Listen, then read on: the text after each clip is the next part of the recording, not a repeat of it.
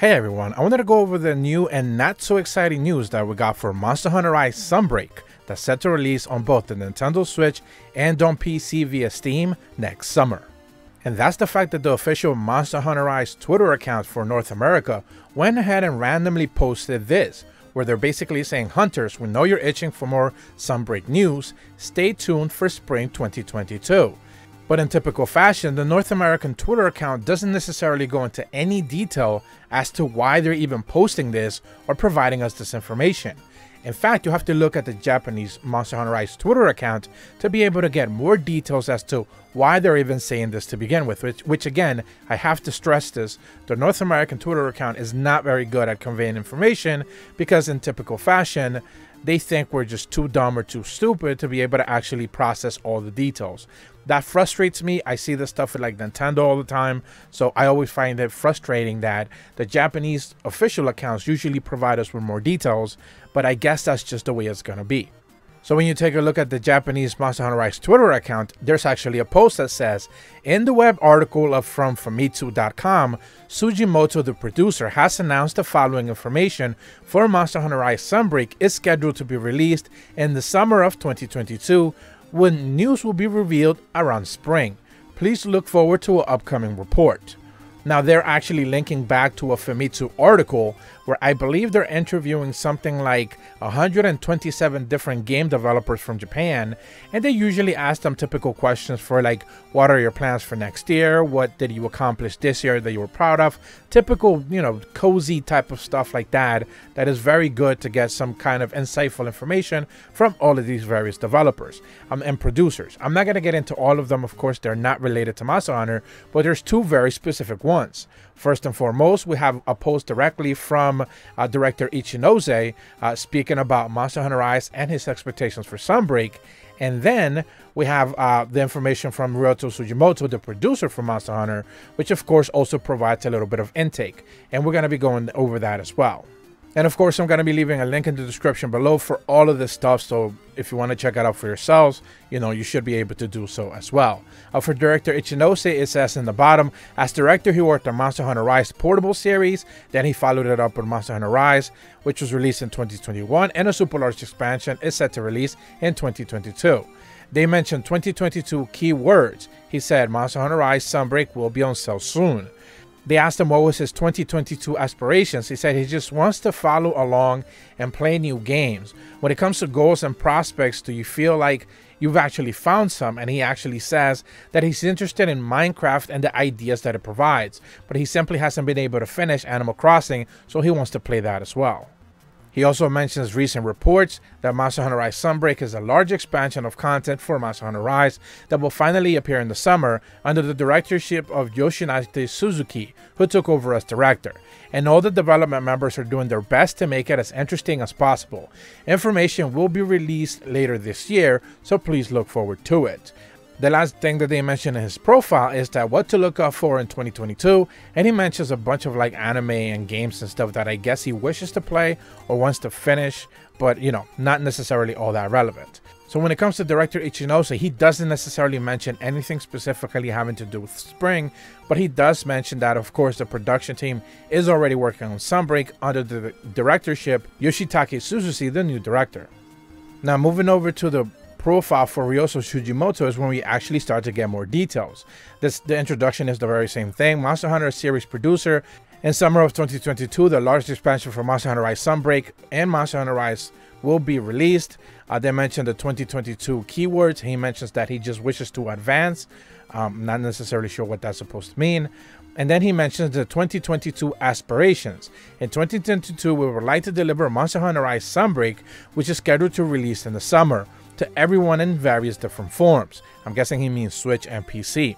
Also, the Monster Hunter series will be celebrating their 20th anniversary in 2024, so I think it's time to prepare various things. That's an interesting point that I'm going to come back to in a little bit. Now, the last thing that they mentioned here is the recent reports, and this is the thing that we need to be paying attention to. Current reports mentions currently Monster Hunter Rise Sunbreak is under development, and I think following information from Monster Hunter Rise Sunbreak will be delivered around spring, so please look forward to it. So when the North American Twitter account for Monster Hunter basically says, "Hey, you're gonna get more information on spring," and they don't necessarily actually tell you why that is or where this is coming from, this is coming directly from this Famitsu interview with Ryozo Tsujimoto and Ichinose, director Ichinose, providing us a little bit of information on the game. Not necessarily anything we didn't know, but now we do know at the very least that uh, we are gonna get some news regarding the game on spring. Now, there's two things that I wish to tackle. First and foremost, I believe, I'm not necessarily sure if this was like pre-planned already. Presumably it is because these type of developer interviews aren't just kind of sprung up out of nowhere. But I do find it fascinating that just a couple of weeks ago, we started to hear regarding a presumable Capcom presentation happening sometime in January, where they're going to be showing off more of the game. But now all of a sudden they're saying in spring. Now, spring basically means April. Uh, if we're following the North American, I presume, you know, calendar and seasons, how they actually go, uh, winter doesn't end until like late March. So we're not going to get any real big news up until April. That seems a little bit wonky to me, if I'm going to be quite honest. I believe that winter officially ends on March 20th here in North America for 2022. So it's going to be one of those things where, like, are we going to have a Capcom presentation in what, March or like early April? Like, that's a really long time. Again, this whole roadmap thing for waiting for news for Sunbreak, we've talked about it endlessly. How the game was just revealed kind of early back in September, and uh, there was no real justification for it other than the fact that they just want to, you know, announce it. And we don't necessarily are going to be able to get any real substantial news until we get closer to launch, which is, you know, April kind of lines up with that. They have three to four months to be able to promote it as best as possible. That is, if presumably it's set to release, let's say in July or August.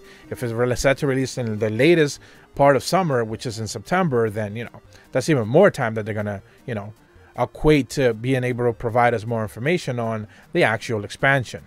Now, the second point that I do want to touch upon that he mentions specifically is in the aspiration sections, where he mentions also Monster Hunter series will be celebrating the 20th anniversary in 2024. So in 2024, I should say, not the 24th, the day. Uh, so I think it's time to prepare various things. Now, obviously, Monster Hunter 6 or World 2 or whatever they're going to end up calling it, by 2024, that game is going to be out. Presumably, if plans don't change, and COVID has changed a lot of plans for a lot of people, specifically publishers and developers, uh, that game was scheduled to release in 2023. Presumably, it would be something that we see once Sunbreak has been out for a couple of months. Um, so we don't necessarily know if those plans are still there for 2023, but that game would be out by 2024, obviously.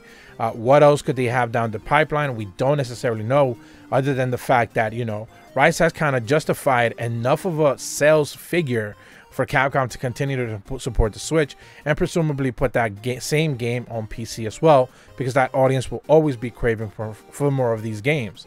So, you know, Will there be like a Rise 2, uh, an expansion, another expansion, or just another brand new game? It could be justified, or even by that point in time, they could be releasing the Iceborne version of World 2 or whatever that might be, their biggest expansion for that game. So we'll just have to wait and see what the timeline is all about. But I do find it interesting that they're already mentioning 2024 in this very specific thing. And again, we also get the news that in spring we're going to be able to get some new some new information regarding Sunbreak. Uh, but that's about all the information that I wanted to go over. Again, I'm all about the details and I like to go over the, the fact that this all this information that the Twitter account regretfully decided not to provide us with is actually coming from a Famitsu interview, which I do think is worth considering giving it a look. Again, link in the description below if you want to check it out. But if you're brand new to my channel, be sure to leave a like and subscribe, hit the bell to receive notifications when the videos go up, and as always, thank you so much for watching. See ya.